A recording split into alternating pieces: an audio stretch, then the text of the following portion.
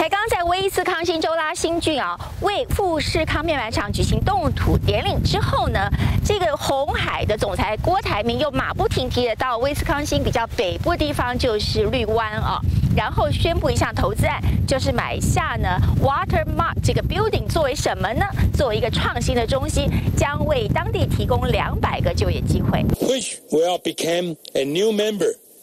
of the Wisconsin Valley network in the northern